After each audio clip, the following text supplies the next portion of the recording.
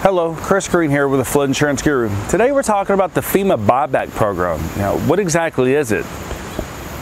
And what are two things that are really holding the program back from really taking off or really helping minimize future damage? So we want to talk about that a little bit today. First of all, what is the FEMA buyback program? Well, this is a program where properties that have flooded or repetitively flooded, that FEMA comes in and buys those properties up. They turn them into, you know, reserve, Greenland, things where people cannot build there to help minimize that damage. So this is what the buyback program is. Now it can be a lengthy process because this is money that comes through a hazard mitigation grant program.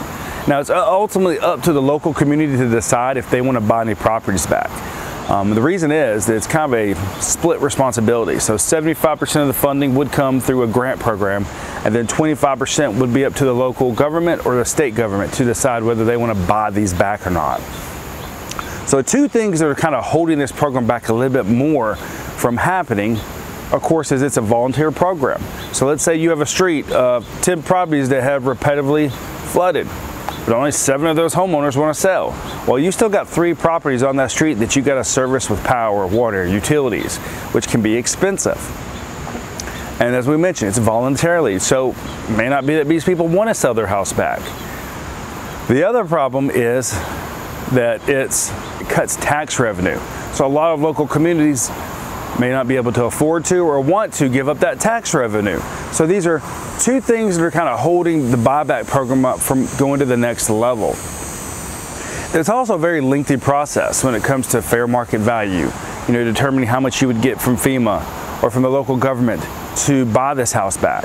Um, and then what happens next?